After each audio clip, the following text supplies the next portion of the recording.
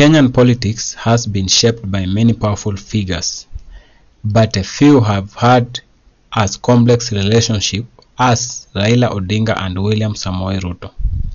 From allies in 2007 to rivals and back again to allies, their journey reflects the turbulent nature of Kenya's political landscape.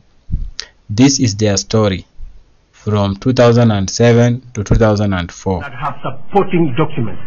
The commission have told us that they have sent a plane to look for these uh, results.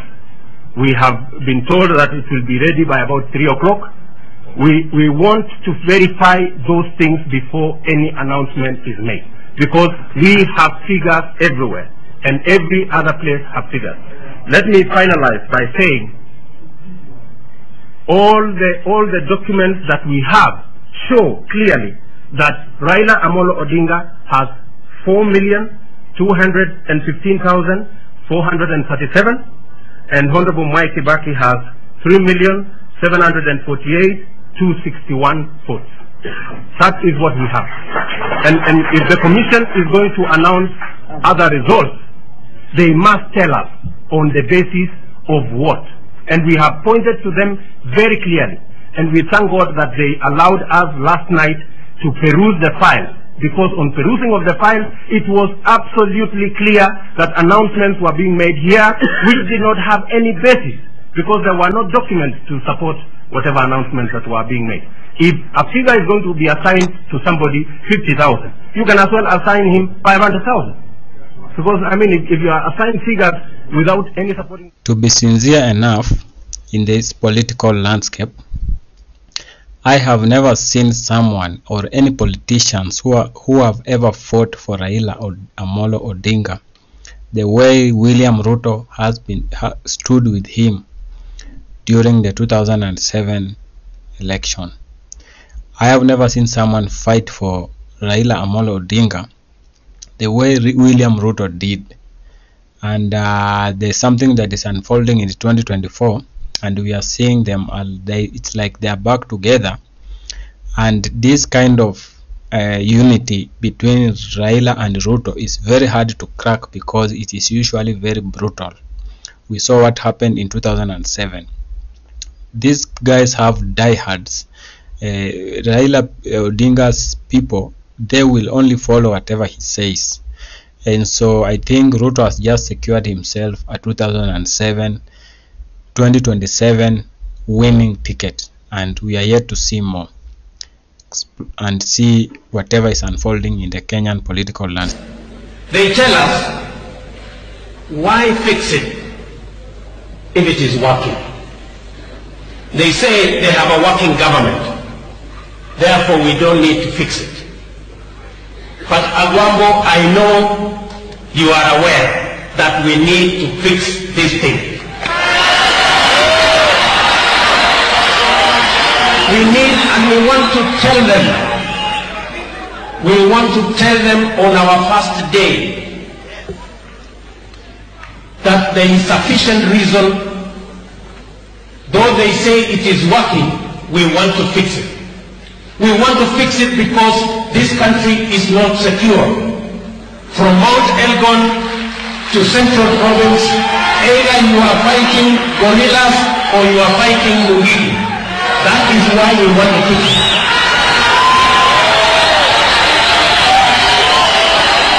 We want to fix it because 30% of the workforce of this country do not have a job.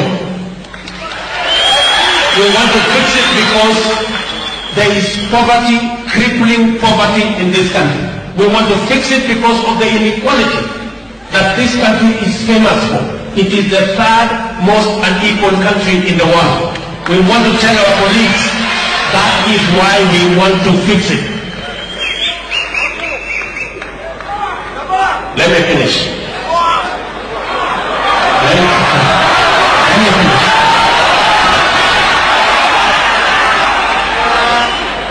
By telling my brother Agwambo, now you have the mantle, my brother. Now you have the mantle of ODM. And I want to remind you of the words of a philosopher said A man who wants to lead the orchestra must turn his back to the crowd. Agwambo, please look forward, don't look back. You are leading the orchestra, and this year, with you, with the ODM team, with this ODM leadership sitting in this auditorium, and millions outside there, we are sure that we will deliver an ODM government. The year 2007 marked a significant turning point for Kenya. Raila Odinga and William Ruto joined forces under the Orange Democratic Movement ODM as part of the Pentagon, a coalition of powerful leaders aiming to unseat the, the then President Mwai Kibaki. I was sitting. eh, I was sitting next to. I was standing behind the, the two. I was telling, um, whispering to Chuck Tuma, "You are a fine man. Give us fine results. Even if the fine results are us losing, so long as they are fine." and we knew what was going on.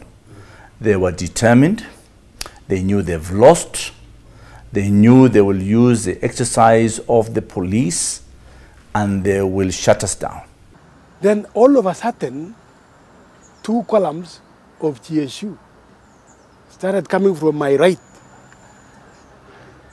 and then doing a, a funnel. And then the electoral body officials, uh, members, commissioners, were beckoned to stand up.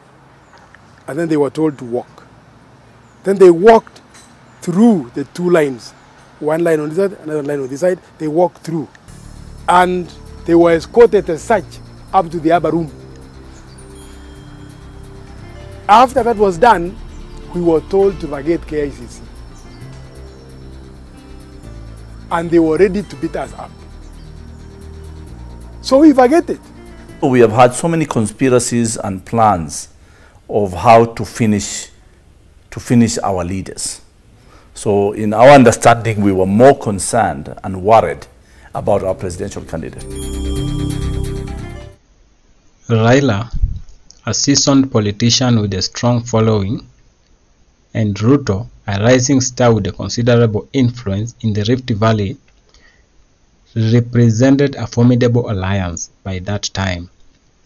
Their combined efforts galvanized support across the whole country of Kenya. But the election results were hotly contested, leading to widespread violence and unrest.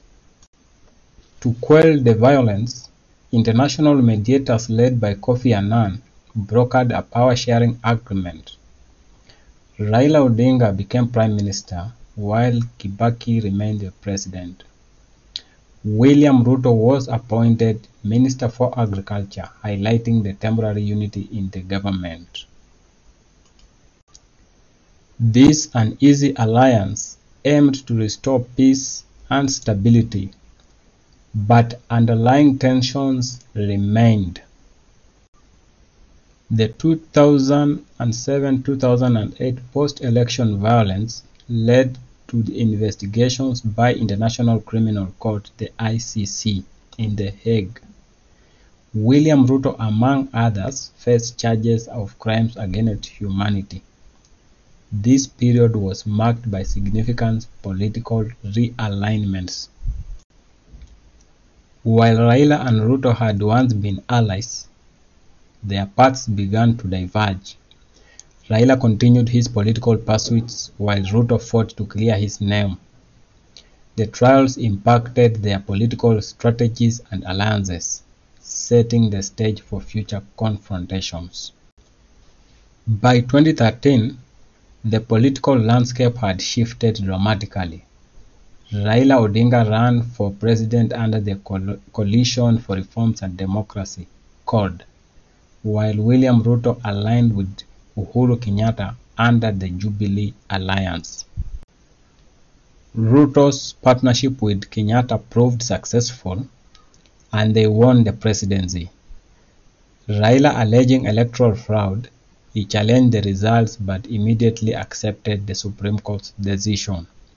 The rivalry between Raila and Ruto intensified as they pursued different political agendas.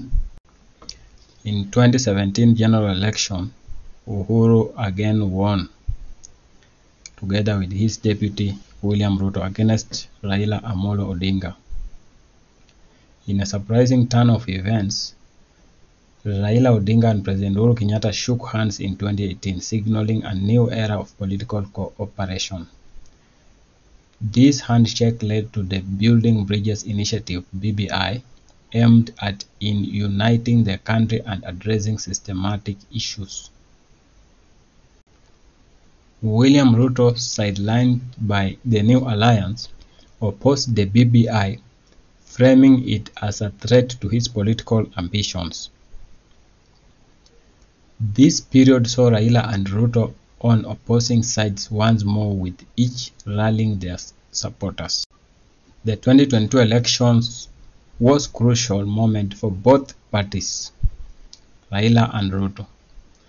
Raila running with the support of Uhuru Kenyatta faced off against William Ruto who campaigned on a platform of economic empowerment and anti-corruption in 2022 of whereby we saw a, the hustler narrative coming and the bottom-up economic style coming up in his campaign. Ruto's message resonated with many Kenyans, leading to his victory. Raila contesting the results ultimately accepted defeat. Despite the intense rivalry, both leaders have continued to play a, significant role in Kenyan politics.